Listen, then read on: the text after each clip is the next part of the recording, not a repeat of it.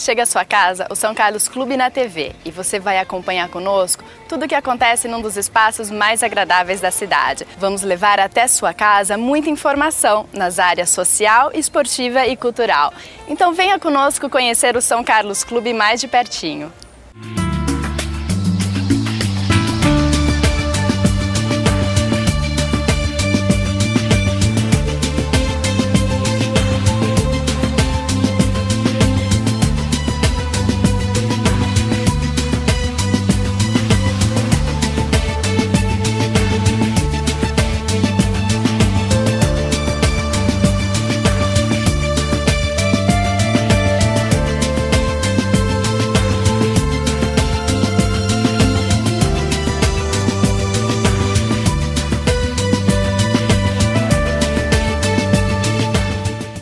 Finalzinho de março, o associado ganhou um belíssimo presente com a inauguração da piscina coberta e aquecida.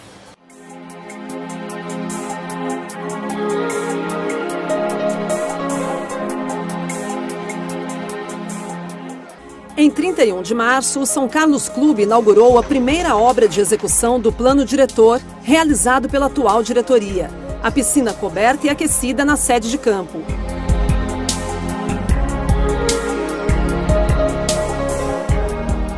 Novo espaço recebeu o nome de Luvirto Bernasconi, presidente do clube de 71 a 75, falecido em janeiro de 2009.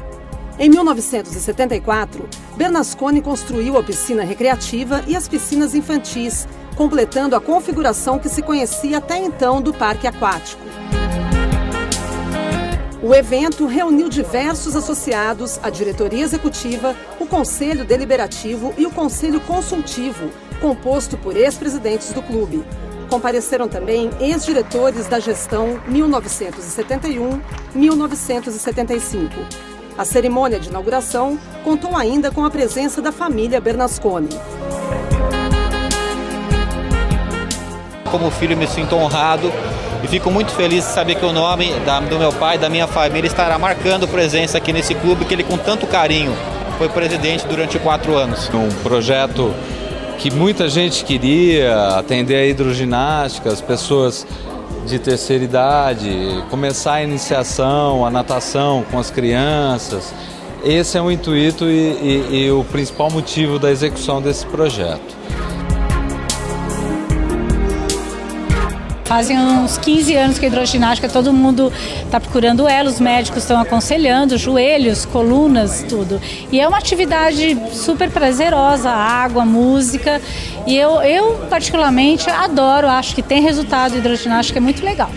Agora com esse espaço, com várias turmas novas, já todas lotadas também, a gente espera que isso sempre continue assim e cada vez mais turmas e pessoal procurando que é em benefício mesmo da saúde.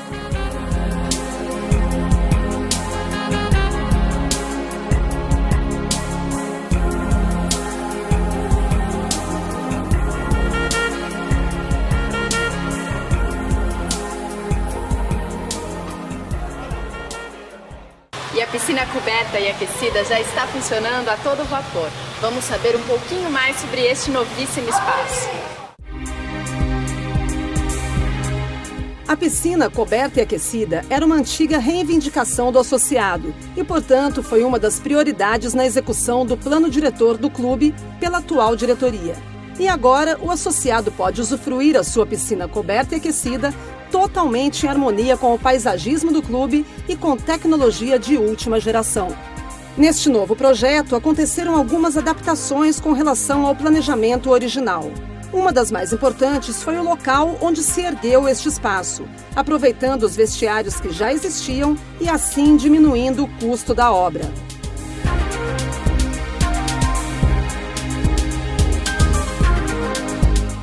Projeto da nova piscina foi pensado seguindo as normas de acessibilidade que em breve estarão em todo o clube.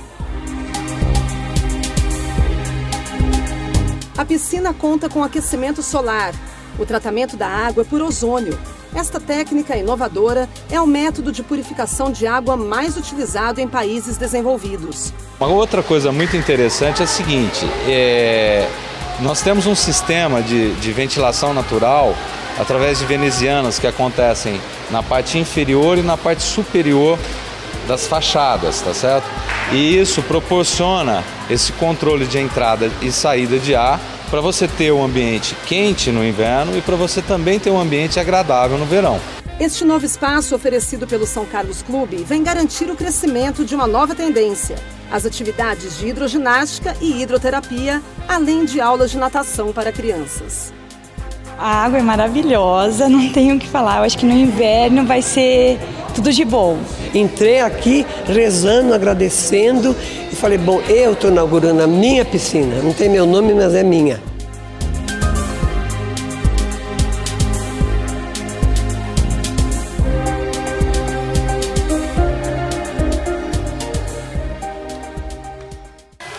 Então, associado, esse espaço é seu e você já pode usufruí-lo. Mais informações sobre as atividades e os horários das turmas para a piscina coberta e aquecida você obtém na secretaria do clube.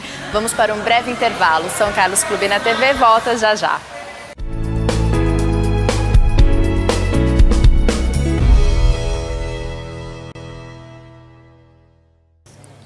Já reparou na logomarca do São Carlos Clube, que possui duas raquetes de tênis? Pois é, essa é uma das provas da potência do clube nesta modalidade esportiva. O São Carlos Clube foi fundado em 9 de janeiro de 1944, da união entre São Carlos Tênis Clube e o Clube Comercial. Há mais de cinco décadas, o tênis está presente no cotidiano do clube e se tornou uma de suas mais fortes vocações. Esta é, inclusive, a única modalidade esportiva do clube que conta com uma atleta profissional, que treina nas quadras do clube e compete nos mais importantes torneios nacionais e internacionais. A estrutura é maravilhosa, nós temos aqui no clube 10 quadras de tênis, uh, os professores quase todos trabalham com duas quadras, nós estamos aqui no clube em, em sete professores, desculpa, seis professores. Né? A gente tem aula aqui de manhã, à tarde e à noite. Começamos 7 horas da manhã e vamos até 9 horas da noite, de segunda a sexta. Uma média aí de uns 350 jogadores, tá? É, isso contando com o pessoal que joga nos finais de semana, né? E as crianças que fazem aulas durante a semana também. Nós começamos aqui com a idade de 4 a 70 anos. O São Carlos Clube desenvolve também um trabalho voltado ao tênis adaptado para portadores de necessidades especiais que você mais gosta no tênis? Ah, de. de sacar com, com bate-bola. E por que que você decidiu fazer tênis? Ah, porque uma vez minha, minha irmã estava na aula de tênis com esse professor. Aí, aí ele me viu, aí ele, aí ele achou que ele queria dar uma aula para mim, para ver se eu gostava. Aí eu gostei e ele começou a dar aula. O Luiz Henrique é o nosso primeiro tenista aí, né? Ele já vem fazendo tênis há nove meses. Pô, ele gosta muito. E eu gostaria de lembrar que o clube está com, as portas abertas para todo mundo que queira, que queira praticar tênis. A gente está à procura de quem está interessado também, porque aqui no, no, tênis nosso do clube, o Luiz Henrique foi o primeiro e único aqui que vem participando com a gente. Pô, e se tivesse mais alguém para participar, ia ser um prazer para a gente trabalhar com eles também.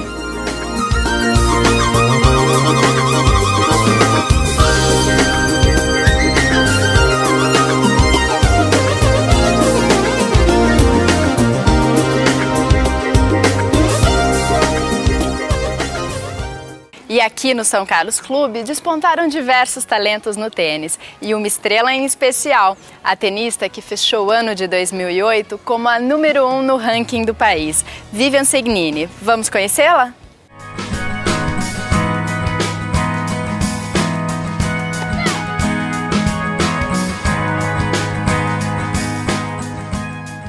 Vivian, como é que foi terminar 2008 sendo a número um entre as tenistas brasileiras?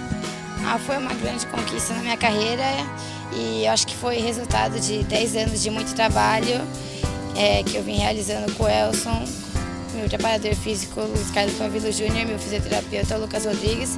Então acho que foi muito merecido, assim, por muito trabalho, eu treino muito, 8 horas por dia e foi uma grande conquista para mim. É, eu comecei, já faz 10 anos que eu treino aqui E eu acho que o São Carlos Clube tem uma estrutura muito boa, que tem tudo que eu, que eu preciso, tem muitas quadras, tem quadra de saibro, tem quadra de lisonda, tem academia, tem a pista, tem o ginásio, então sabe, tem toda a estrutura necessária para fazer um treinamento de alto rendimento e eu já recebi vários convites para ir treinar em outros lugares, mas nenhum lugar tem a estrutura que tem aqui e profissionais como o clube.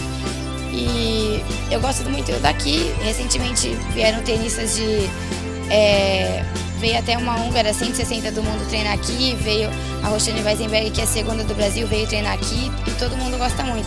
Então acho que o clube é um lugar perfeito para treinamento. Ah, eu, eu tenho é, lembranças muito boas aqui do clube e eu tenho muitos amigos aqui e muitas pessoas que me ajudam, sabe? Eu sou muito grata a todos eles. Se não fosse se não fossem vários sócios do clube, com certeza eu não estaria onde eu estou. Então eu tenho muito a agradecer ao São Carlos Clube. E como é que foi assim? Quando que você sentiu que você estava apaixonada pelo tênis? Olha, eu não sei explicar. Eu comecei assim quando eu tinha oito anos e eu era muito pequena e ninguém queria jogar comigo. Mas mesmo assim eu ficava no paredão e eu não conseguia sair. Eu, eu ia na escola e depois eu ficava o dia inteiro jogando tênis. É, foi amor à primeira vista, assim.